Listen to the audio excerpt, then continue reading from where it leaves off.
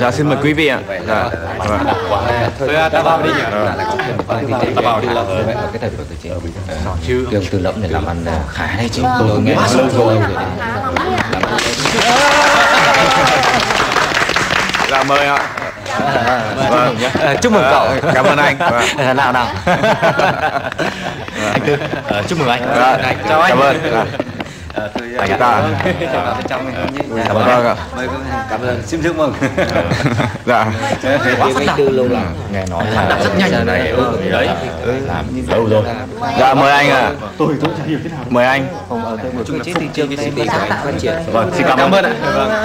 Chào anh. Anh Tư cùng tôi nào. Ờ, ờ, chúc mừng cậu nhé. Hôm nay Tư Lẫm tôi vô cùng xúc động được đón tiếp các vị khách quý đến dự lễ khai trương của công ty trách nhiệm hữu hạn Phương Đông. công ty của chúng tôi có thành đạt được hay không là nhờ vào sự giúp đỡ của các quý vị có mặt trong ngày hôm nay đấy ạ. Thay mặt cho anh chị em trong công ty Tôi xin được mời các quý vị mừng cho sự ra đời của công ty Phương Đông ạ. Nào, xin mời. Xin mời. Xin mời. Xin mời. Xin mời. Dạ, mời ạ, vâng, Dạ vâng, cảm ơn. Dạ, mời anh ạ. Dạ, ờ. Dạ, vâng. Dạ mời anh ạ. Vâng. Dạ, dạ mời anh.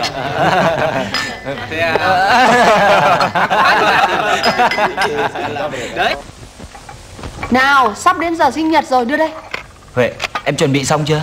Xong hết rồi anh ạ Ờ, em cứ bê ra trước đi. Vâng ạ Nào mang ra đi cô Cho cháu mượn tí nào Để khi nào chú dạy Bỏ hết cho. hoa quả lên đi Phúc ạ Để chị bê mâm bát vào đây Vâng. Nào. Ngon quá Ừ. Con có thích không? Nào Tuấn, Con thích lắm vui lên nhá, vui lên nhá. Nào bố Rồi. Tuấn, Sinh nhật của cô con. tặng cháu cái này này Đấy. Cô Huệ. Nó còn chỉ thích cái này thôi Phải không Tuấn Cháu chỉ thích làm đặc nhiệm giống bố cháu thôi Lém lắm. Nào, cả nhà nhìn ra đây nhá. Nào kia Bố Tuấn kia Tuấn, con bắt đầu đi. Vâng Thổi một cái là tắt hết nhá Ôi giỏi quá Tuấn giỏi quá ờ, Tuấn giỏi quá Nào. Thôi ăn hoa quả đi con. Ăn từ từ đi cháu. Hay ăn bánh trước nào? Ờ, Đấy. Cẩn thận Gỡ. cháu ạ. Ấy ăn kìa. Ăn bánh đi này con này. Ăn từ từ thôi con. Thôi ăn từ từ. Nào Tuấn nói cho bác nghe. Cháu yêu ai nhất? Này, nếu mà yêu chú hôm nào chú sẽ chụp ảnh cho. Nào nói đi cháu. Cháu yêu cô Huệ nhất. À, Thằng này láo. Không yêu bố thì ai nuôi mày? Ừ? Ừ, Cậu nói đi nào Thế thì cháu yêu cả hai. Giỏi thằng này giỏi. Nào Long đâu? Vâng. Sẵn máy đây chụp một bô cho cả gia đình. Vâng. Nào đứng lên. Nào ra đây sắp xếp ra đây ra đây. Nào đây sắp xếp nào. Nào đấy Hai đứa này đứng vào đây. Tình cảm vào tình cảm vào nhá Tình cảm vào nhá. Nào chụp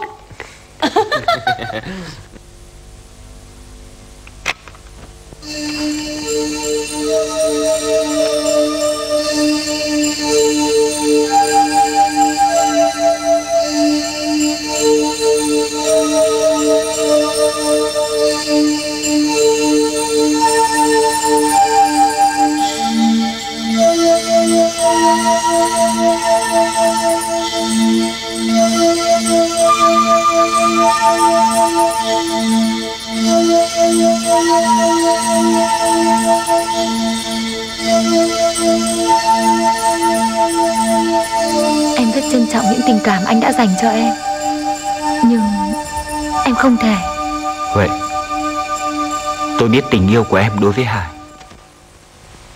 Tôi còn biết em rất đau khổ sau những gì đã xảy ra. Nhưng chẳng lẽ cứ để quá khứ đè nặng mãi trong lòng Hãy nghĩ đến những ngày sắp tới Huệ ạ Anh Phúc Anh chưa hiểu em. Sau tất cả những gì đã xảy ra Em không còn thiết nghĩ đến bản thân mình nữa. Em chỉ mong sao đứa con của em ra đời sẽ khỏe mạnh, lành lặn. Huệ Chính tôi cũng muốn nói đến điều đó. Khi chào đời Cháu bé cần một người bố. Và tôi Rất muốn nhận cháu làm con.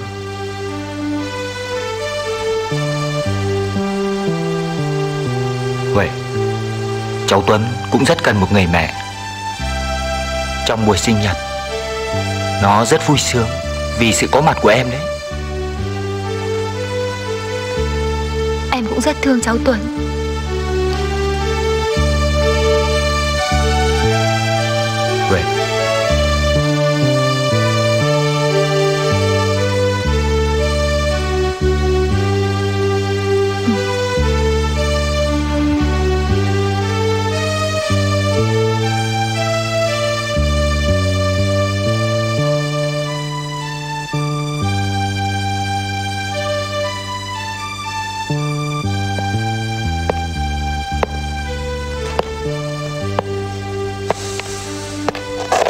Nay là ngày 15 tháng 2 âm lịch năm Ất Hợi Con có nén nhang thành bông hoa quả lễ bàn tiền hương chén nước Con Nam Mô A Di Đà Phật Cầu xin phù hộ độ trì cho gia đình chúng con. Tài qua đạt khỏi được ăn mày phúc ăn mày đức của Phật và thần linh gia tiên. Nam Mô A Di Đà Phật Nam Mô A Di Đà Phật. Con đâu rồi? Con đi xuống bà ngoại từ sáng sớm cơ Anh ra phố kiếm cái gì ăn tạm. Em không muốn anh ăn cơm chay cùng với em. Thế này thì còn gọi gì là nhà nữa? Anh đừng có nóng này. Em vừa cầu kinh sám hối cho anh Để anh được sống thanh thản. Ờ, Đức Phật từ bi hỷ xả lắm.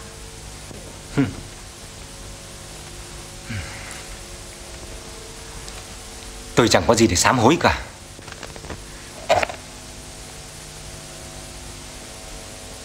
Cô có bỏ cái trò mê tín của cô đi không? Không tôi dẹp hết đi ngay bây giờ.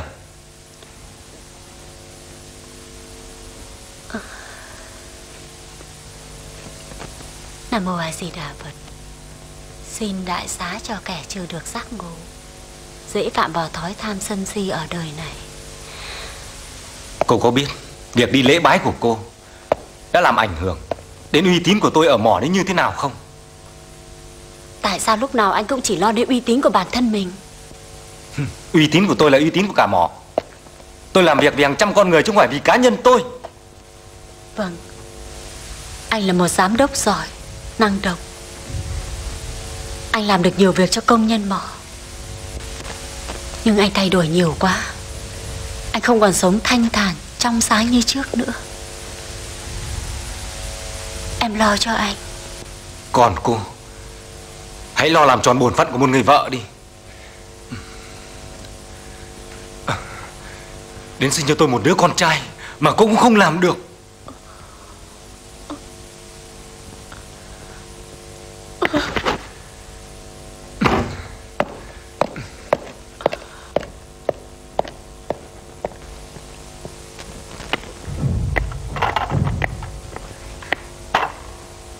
Dạo này mình bỏ bia. Bụng bắt đầu chảy rồi. Nên rất lười hoạt động. Mời anh Xin cảm ơn. Biết cậu thích uống bia Mình không có sẵn ở đây. Tạm nhé. Anh đừng rót Tôi không uống đâu. Tôi đến đây để đề nghị anh một việc. Viết cho tôi vài chữ. Chỉ vài chữ thôi. Với cậu Lẽ ra tôi không biết dù sao cậu cũng là chiến hữu của tôi cơ mà. Không, Chỉ vài dòng thôi. Đơn giản thế này. Tôi không yêu Huệ. Đứa con của Hệ không phải con tôi. Và Anh ký tên vào. Cậu hâm rồi. Nhớ tôi không biết thì sao nào. Anh đừng có khinh thường tôi. Rồi kẻo hối không kịp đấy. Tôi yêu cầu anh viết ra một sự thật. Sự thật chỉ có lợi cho anh Và làm cho anh trong sạch hơn.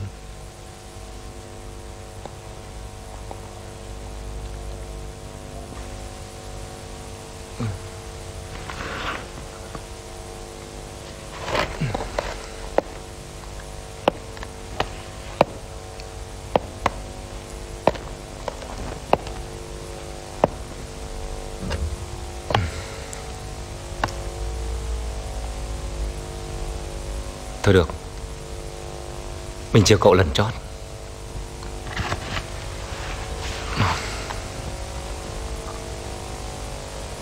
Cuối cùng anh cũng nhận ra sự hơn thiệt Nào, Bắt đầu đi. Tôi không yêu Huệ.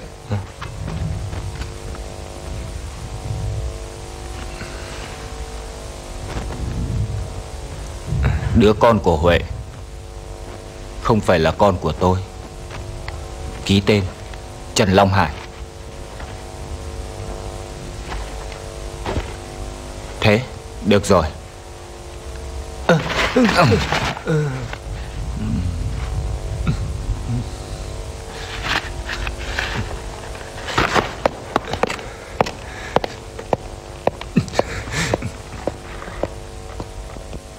Không Tôi không thể giải quyết được.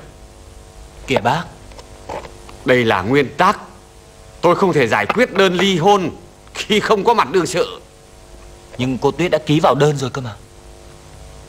Còn về mặt tình cảm Tôi khuyên anh thật đây này. Anh đừng có dài Mà dính vào cô Huệ. Anh sẽ phải nuôi thêm một đứa con riêng của cô ấy. Cháu cảm ơn bác. Nhưng cháu không còn bé nữa Nếu bác không giải quyết, Cháu sẽ lên gặp chủ tịch phường. Ừ. Anh có muốn gặp ai Thì cũng phải qua tôi. Anh rõ chưa? Dấu đồng hẳn hoi, Chứ không phải là dấu củ khoai dễ kiếm đâu. Anh rõ chưa? Hơn nữa, Anh lại đang quên tôi là ai đấy. Ừ. Rõ chưa? Anh đã có thằng Tuấn, Giờ lại thêm con cái Huệ. Tức là anh đã hết tiêu chuẩn. Rõ chưa? Thôi mà bố. Con rất thông cảm với trách nhiệm trọng đại của bố. Nhưng theo con, Bố phải có một bộ com lê thật oách vào Cho nó xứng đáng với tầm vóc của mình chứ. Bố. Con Con sẽ lo cho bố nhé. cái thằng chỉ được cái nói đúng thôi. Ở chợ rời không thiếu gì các loại comple xịn của ờ, nhật pháp ý hà lan bỉ. Loại thường thì là một chỉ. Ờ, hơn tí nữa là hai chỉ. Mà sang là ba ba chỉ. Bố làm bộ vừa vừa nhé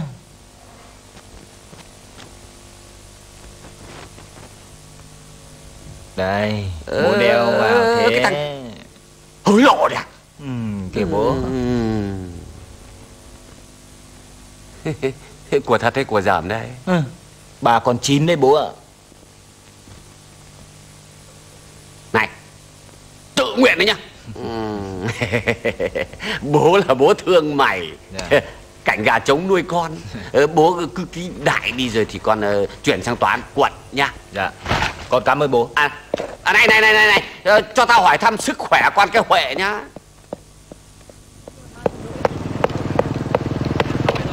Xong rồi chị ạ. Em bắt ông Hải xác nhận chuyện con cái. Lao về đây Giải quyết vụ ly dị. Ai ký cho mày? Ông Đồng Tao không tin. Lão mà lại ký không cho mày à? Thì đấy. Mày lại nướng cái nhẫn rồi phải không? Thôi được rồi để đấy tao. Chị Tập Đáng là bao nhiêu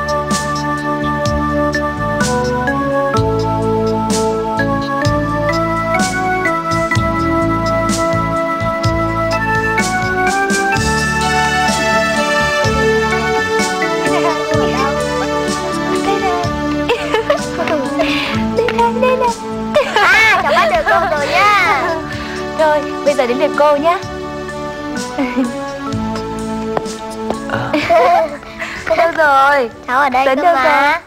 Đâu? Đây. Tuấn ơi. Tuấn đâu rồi? nha.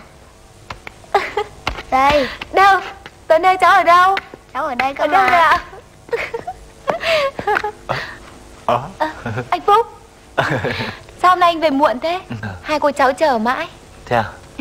Con bắt đền bố đấy. Có ngay Hôm nay thức ăn tươi nhé Để em dọn cơm nhá. Ờ. À.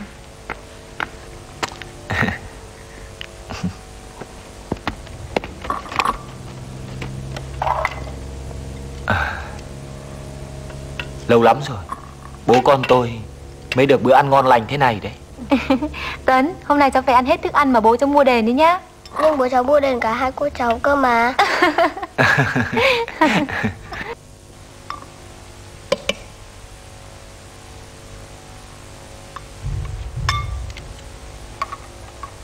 Cánh làm ăn tư nhân và bọn con buôn. Ngày càng nhiều thủ đoạn tinh vi và xảo quyệt em ạ. Đồng tiền làm người ta thay đổi Quay cuồng nhiều quá cơ anh ạ. Ngay cả cái thị xã này cũng thế. Đời sống tuy có khá lên Nhưng người ta sống với nhau khác trước nhiều. Nhiều kẻ thoái hóa và biến chất Mất hết cả bạn bè và người thân. Ờ Ngay cả ông Hải cũng thế. Em thương chị Lan quá Cũng vì anh Hải bận bịu nhiều việc. Tại sao lại cứ vin cớ vào công việc Phải nói là suy sụp rồi. Anh đừng nặng lời như thế. Anh Hải cũng làm nhiều điều tốt cho công nhân mỏ lắm chứ. Khi anh đến bảo Hải viết giấy không công nhận tình yêu và đứa con Anh không tin là Hải sẽ viết. Vậy mà Em thấy đấy. Thế mà ông ấy cũng ký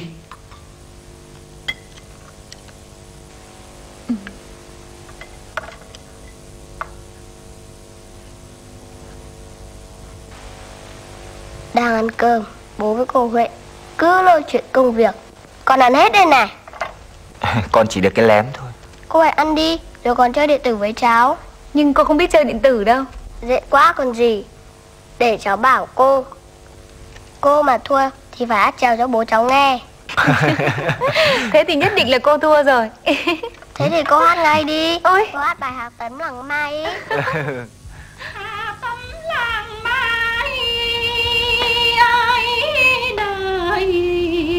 đời của em tháng ngày như hà thì tâm làng mai vẫn hằng thời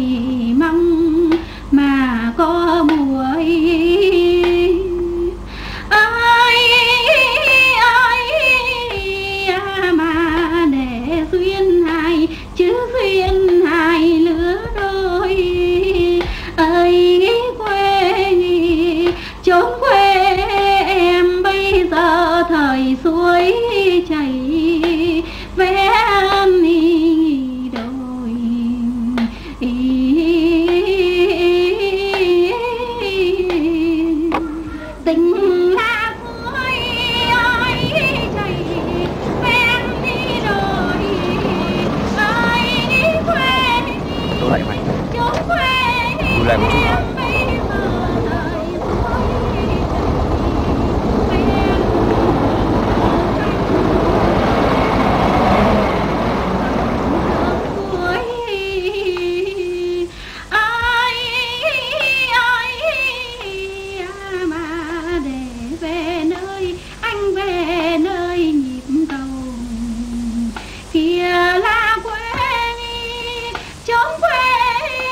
Người quen hả sếp? Một giọng hát quen Mày biết đây là nhà ai không? Dạ. Nhà thằng Phúc đặc nhiệm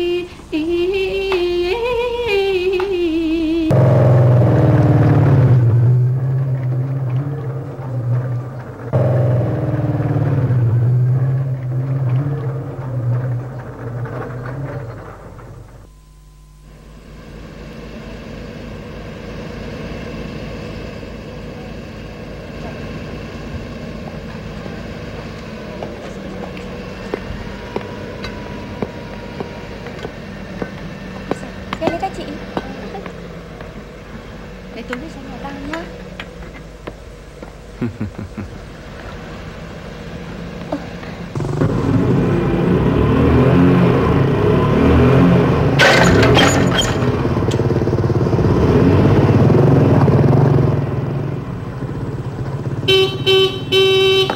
Chào anh Phúc.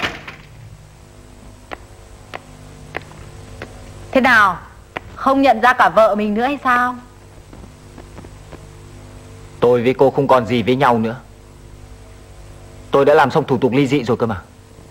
Tôi biết quá đi chứ. Nhưng đến thăm hỏi nhau một chút Có chết ai đâu. Hmm. Vẫn như xưa nhỉ. Vậy mà cũng có đứa đâm đầu vào cơ đấy. Cô muốn gì? Muốn xem anh có tiến bộ hơn chút nào không Cô lại định phá hoại cuộc đời tôi một lần nữa hay sao? Giá mà anh là một doanh nghiệp lớn Tôi cũng lao vào đấy. Nhưng khổ nỗi anh vẫn lạc hậu ngớ ngẩn như xưa. Tôi tha cho anh đấy. Cô định bắt giữ thằng Tuấn của tôi. Này Cô không làm gì được với tôi đâu nhé. Tòa đã đồng ý cho tôi nuôi nó rồi đấy. Anh cứ yên tâm đi. Bao giờ tôi giàu có Nó sẽ tự đến với tôi Cô xem thế đã đủ chưa? Đến giờ tôi phải đi làm rồi. Tôi đến để báo với anh một việc. Tôi đã về thị xã này Mới khai trương quán gió biển. Nếu buồn Anh đến chơi uống bia. Nếu cần em út giải khuây Tôi lo cho. Hóa ra cô làm giàu bằng cái nghề đốn mạt đấy à? Chồng tôi cũng chẳng đến nỗi nào phải không Cô đừng để con nó nhìn mẹ một cách khinh bỉ. Cô đi đi, Thằng Tuấn nó sắp về rồi đấy. Anh làm cái gì thế? Tôi muốn gặp con. Tôi cho nó quà, Anh giúp tôi một tay. Nào, Tôi mua cho nó đấy.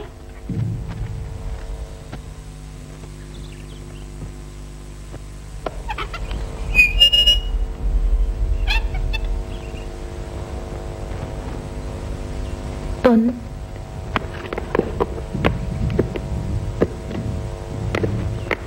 Con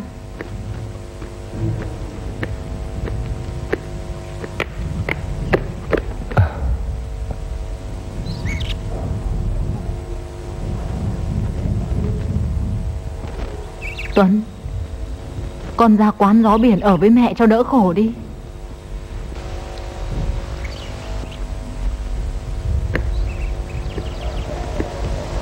Mẹ ơi, con chỉ muốn ở nhà mình thôi mẹ ạ. Sao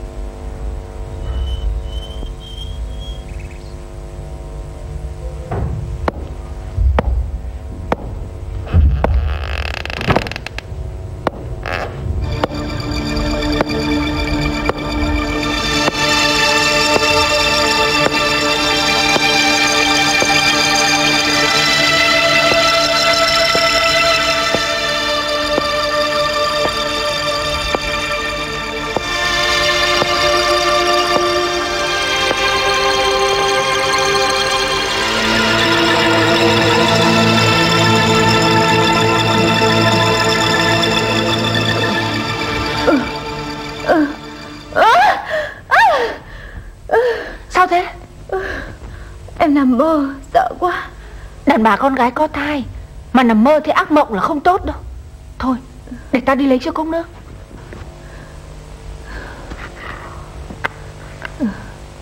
Em nằm mơ thấy thằng Tư đồ tể Sợ quá. Vớ vẩn. Làm gì có Tư đồ tể nào? Thật đấy. Hôm nay em gặp nó ở sàng tuyển. Thế à? Ở đấy à? Sao tao không biết? Trông như thế nào? Đầu hói. Để ria mép Đeo kính gọng vàng Đi xe ô tô đen. Hmm. Đi ô tô con à. Thế thì tao chịu. Tao bình dân Không quen để ý các quan đi ô tô con. Thôi quên đi. Ở đây có công an Có tao Có bọn thằng Phúc. Sợ gì? Ngủ đi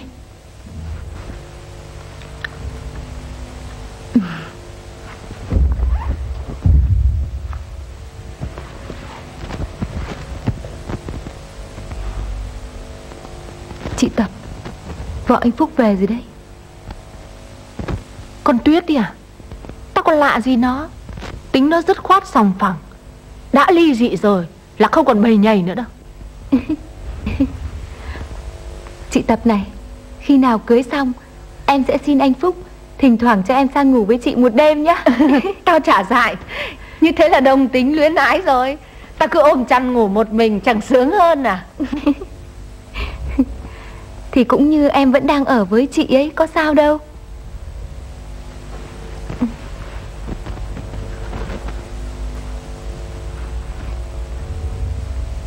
Chị Tập này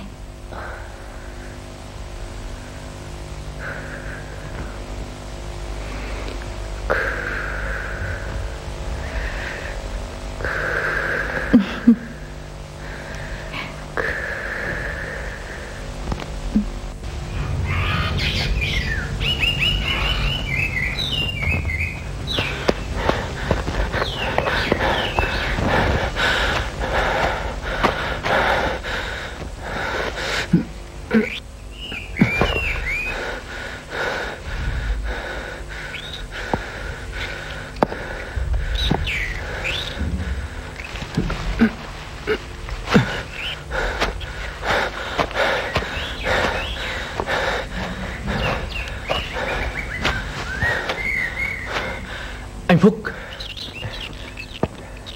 Thế nào? Đội mình nghèo quá. Chưa trang bị được ống kính tele. Em phải vào tận nơi. Chụp được hơn chục pô. Anh này. Tốt lắm. Tớ sẽ cho đọc báo mấy bức ảnh này. Nhưng lạ lắm. Mới xuất hiện một số thiết bị khai thác than cỡ nhỏ. Sao? Cả thiết bị mỏ à? Cậu có chụp được không? Có chứ. Nên em về muộn thế này Ta cho trang phim làm ảnh ngay anh ạ. Lạ nhỉ. Nó lấy đâu ra thiết bị chuyên dụng?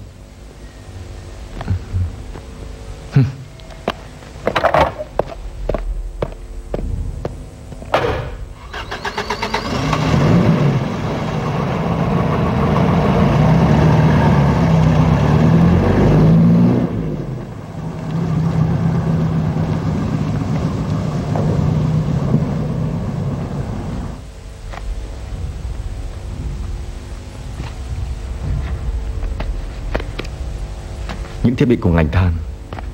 Sao họ lại có được nhỉ?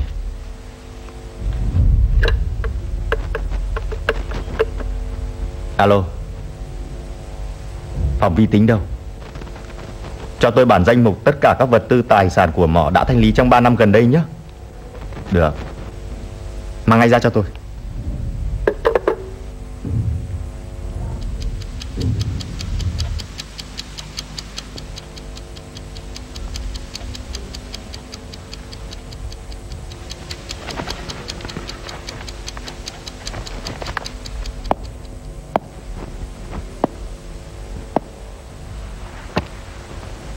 Năm ngoái Hai mỏ cho công ty đã được phép thanh lý tài sản. Một công ty san nền của miền Trung mua toàn bộ. Miền Trung à Ừ Họ có nhu cầu khai thác đá xây dựng mà. Vậy tại sao họ lại chuyển nhượng từ miền Trung ra đây nhỉ? Chịu không tài nào hiểu nổi. Cơ quan nhà nước mua Giờ lại chuyển thành tài sản của tư nhân. Vấn đề cần được lưu ý đây Để mình nhờ bên PA16 tìm hiểu và giúp đỡ đã.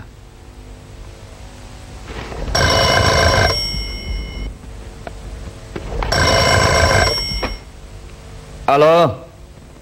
Ờ Tôi Tư Lẫm đây. Hả? Ờ. Dạ thưa anh Tư.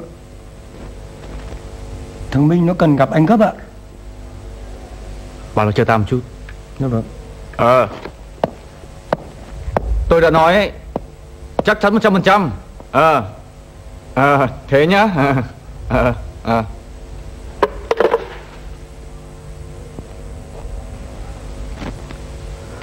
Này Có việc gì đấy? Hay mày có con nhỏ nào định rủ sếp đi hả? Thưa anh Tư.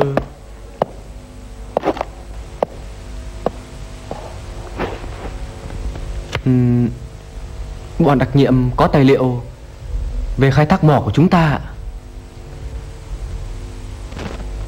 Sao cho nó biết nhỉ? Thằng nào làm việc này? Dạ. Đội trưởng đặc nhiệm là thằng Phúc ạ. À. Cái thằng trung vệ đội than Quảng Ninh ngày trước ấy. Mày khá lắm. Thích cái này à? Anh Thường. Cảm ơn anh Tư ạ Giúp tao xem. Vàng thật đấy, của tao. Thôi được rồi Để ta liệu. Hừm.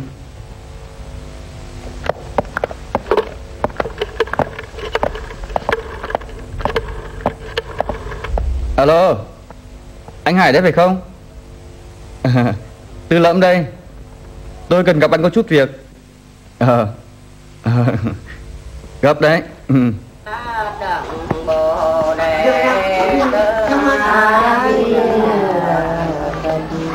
hưởng thơm năm nén con rừng con thình trời phật con tô chư vị. Hiến cao để vượn ý, nam đào bắc đau chùm chi số nhà con thành đức vua ba phàng, cùng vua đoạn đế phép càng ai lên mười phương trương xin bà đáng phương con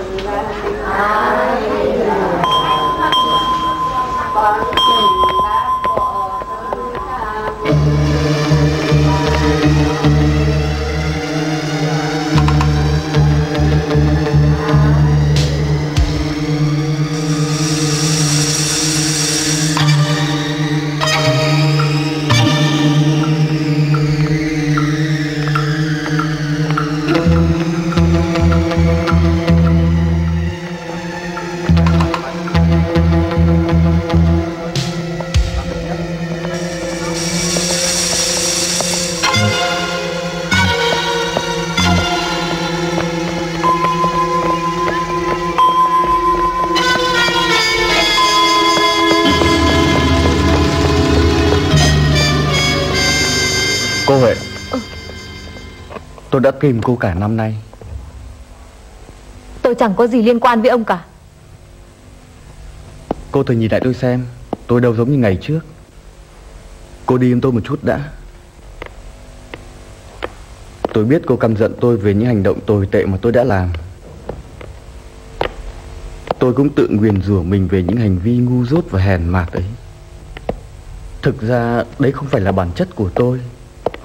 Sống ở đời người ta cũng có những đoạn này Đoạn khác. Tôi đã từng là một kẻ lưu manh. Suy nghĩ và hành động cũng theo kiểu lưu manh Kể cả tình yêu của mình. Ông nói thật đấy chứ.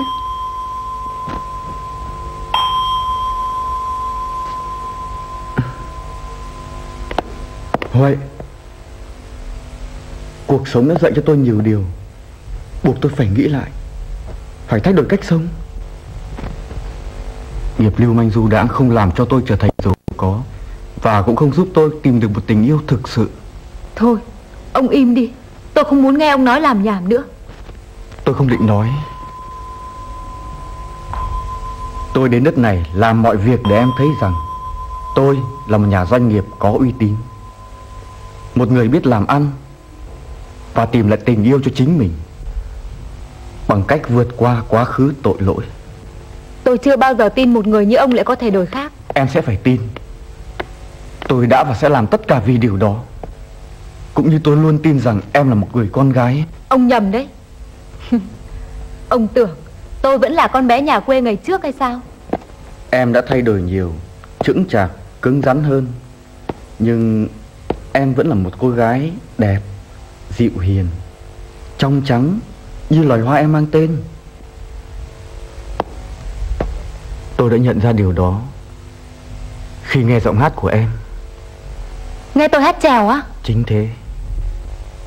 Ngày trước cha tôi cũng là chùm trèo Tôi đã học được ở ông cách hiểu lòng người qua giọng hát. Ông đừng ba hoa nữa. Tôi không còn có gì để ông tán tỉnh nữa đâu. Tôi sắp có chồng Sắp sinh con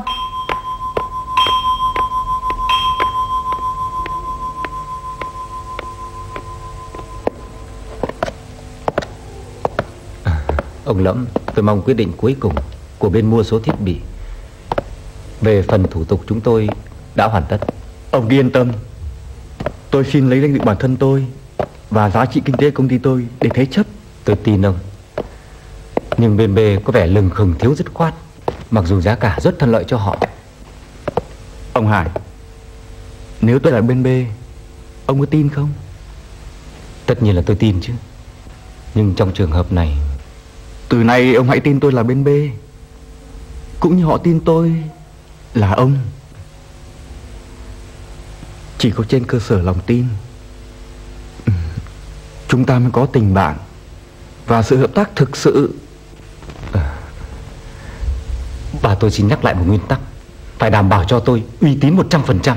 Đương nhiên, đương nhiên Tôi luôn tìm cách giữ uy tín cho bạn bè chiến hữu Không chỉ trong làm ăn kinh tế Mà cả trong đời thường. Ông nghĩ sao? Khi thai trong bụng một cô gái làng trèo Bỗng dưng biết nói. Và nói ra Bố nó là ai?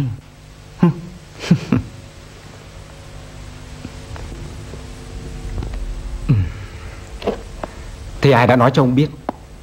Điều đó không quan trọng. Tôi chỉ muốn bày tỏ tấm lòng của tôi đối với ông mà thôi. Ông Hải Không phải đồng tiền lúc nào cũng có vị trí cao nhất Nhưng nó luôn cần thiết Nhưng tôi đã nhận hoa hồng rồi cơ mà. Đó là của bên B Còn đây là của tôi Sao ông nói là ông và bên B là một? Ừ. Nhưng trong trường hợp này họ không phải là tôi Tôi còn có một con người nữa, ông Hải ạ. Con người của tình cảm. Để em xem, cửa hàng chị nhiều váy áo ngoại đẹp lắm. Em cứ ngắm kỹ đi, màu nào cũng có mà. Nào.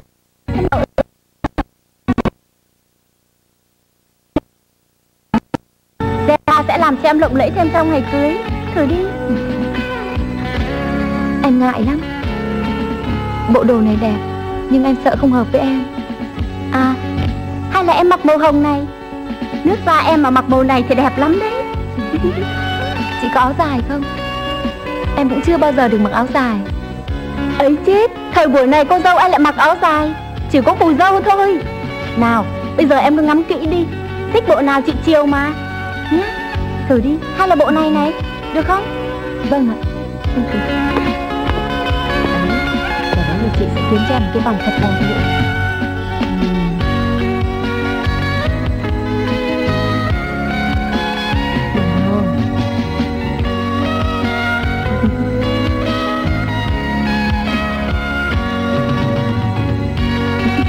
Trông xinh quá. Rất là hợp với em. Đấy Cô dâu mà đẹp lộng lẫy như thế này, Chú rể đi bên cạnh. Để Phật run lên mất thôi. Anh vào đây để xem có đẹp đôi không nào. Nào À hay là anh cũng chọn một bộ đi. Em thấy anh chưa có bộ nào lịch sự cả. Ờ phải đấy. Anh mặc cái bộ xanh ghi là đẹp lắm. Anh có thích không để tôi chọn cho nào? Tôi cũng có một bộ cũng màu xanh Mà cả vùng than này không ai có. Chị có bộ nào dằn di của đội đặc nhiệm không chị? Còn em Em sẽ mặc bộ công nhân truyền than nhé Mười phù dâu, mười phù rể Ăn mặc đều giống hệt như cô dâu chú rể. Thế thì cửa hàng của chúng tôi ế à? Chứ còn ăn mặc sang trọng như thế này Sợ mọi người thắc mắc. Không biết có tham nhũng gì không mà nhiều tiền thế? Phải không em? Thôi Mình cứ ăn mặc như mọi người. Chị cứ chuẩn bị. Cô dâu váy tây Chú rể com lê. Hôm cưới Chúng tôi sẽ đến lấy ạ. Vâng. Anh phải sang bên công an làm việc. Tiện thể đưa luôn thiếp cưới. Anh em đội đặc nhiệm tuyên bố Không cần thiếp cưới. Chỉ cần đủ bia thôi. Em cũng đưa thiếp cho bên sàng tuyển. Chị Tập nói sẽ đưa hộ cho đội làm đường. Thế văn phòng mỏ anh đã mời chưa? Em yên tâm. Anh đưa rồi. Cả đội xe nữa. Riêng ông Hải không có nhà. Anh đã qua nhà đưa thiếp cho chị Lan. Dù sao Em cũng rất muốn cả hai vợ chồng và cháu Mai có mặt. Ừ. Chị Lan với cháu Mai thì có mặt chắc chắn rồi. Nhưng còn ông Hải thì khó đến ừ. Sao thế ạ? À, Vẫn cái vụ buôn bán vòng vo thiết bị thanh lý với tư lẫm. Mà anh nói chuyện với em ấy. Anh đã làm việc với bên công an. Các anh đã cử người đến miền Trung làm sáng tỏ thêm một số chứng cứ em ạ. Anh Phúc Sao chúng ta không báo cho anh Hải để tránh xa tư lẫm? Hả? Em nói gì lạ thế? Ông Hải tiếp tay cho bọn làm ăn phi pháp Để ăn tranh lệch giá. Em lo cho anh Hải và gia đình anh ấy. Dẫu sao Thì anh ấy vẫn là một con người tốt. Anh ấy đã Thôi Tại sao lúc nào em cũng anh ấy đã? Mà không tự hỏi anh ấy đang và sẽ làm gì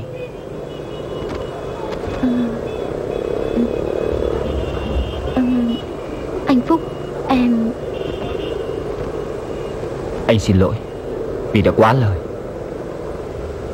Nhưng anh yêu cầu em không nên quan tâm quá nhiều đến công việc của anh nữa.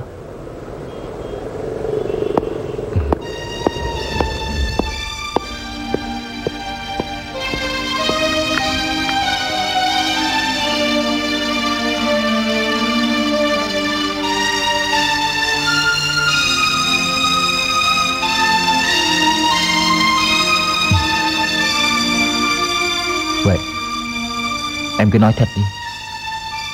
Em vẫn còn yêu Hải. Có đúng không? Anh Phúc, Từ ngày em được các anh đưa về mỏ, Em vẫn coi anh Hải như một thần tượng tốt đẹp nhất. Một người đàn ông đích thực, Đầy cuốn hút. Dù chỉ là kỷ niệm buồn, Nhưng em vẫn muốn trân trọng gìn giữ.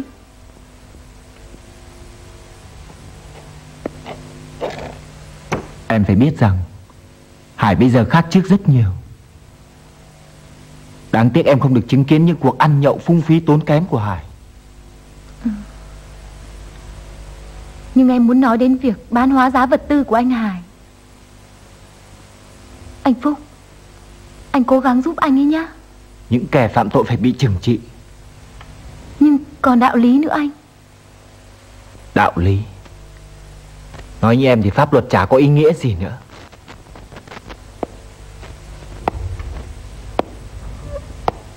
Nếu thế ngành công an, ngành tòa án Giải thể đi cho rồi. Chẳng lẽ pháp luật và đạo lý lại mâu thuẫn với nhau à anh? Em không hiểu nhiều. Nhưng em nghĩ Pháp luật chỉ là biện pháp để gìn giữ đạo lý. Anh Phúc Tại sao khi biết trước một người sắp sửa phạm tội Ta lại không tìm cách ngăn họ lại Mà lại ngồi chờ để bắt họ hả anh? Em có muốn pháp luật trừng trị những kẻ như tư lẫm không? Ừ. Đấy. Người ta muốn pháp luật trừng trị những kẻ phạm tội Nhưng lại muốn chừa người thân của mình ra. Vậy Cả Hải và Tư Lẫm đều phạm tội. Em cũng biết điều đó Nhưng em không thể ngồi nhìn chị Lan đau khổ. Và lại Anh Hải dù có tội Nhưng cũng không phải kẻ bỏ đi. Hơn nữa Phải cứu lấy một gia đình anh ạ. À. Vậy Anh là đội trưởng đội đặc nhiệm. Anh không thể làm khác được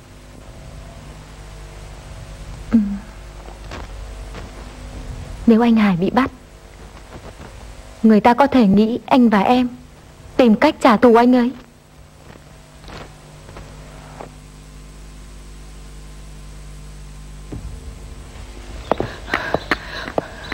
À tưởng ai hóa ra cô Huệ. Thế nào việc cưới xin đến đâu rồi? Dạ cháu. Có cần chúng tôi giúp đỡ không? Dạ vâng ạ. Nhưng không phải việc của chúng cháu đâu ạ. Thế việc của ai nào? Dạ Vừa là việc của anh Hải Vừa là việc của bác nữa ạ. À có nghĩa là việc công chứ gì? Vừa việc công vừa việc tư bác ạ. Cháu nói đi.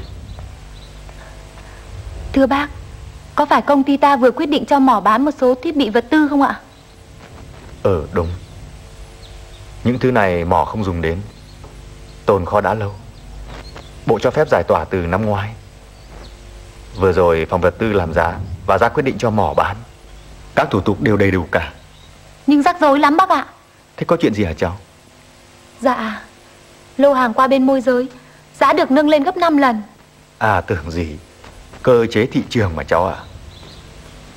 Mình tìm mà chưa có khách mua.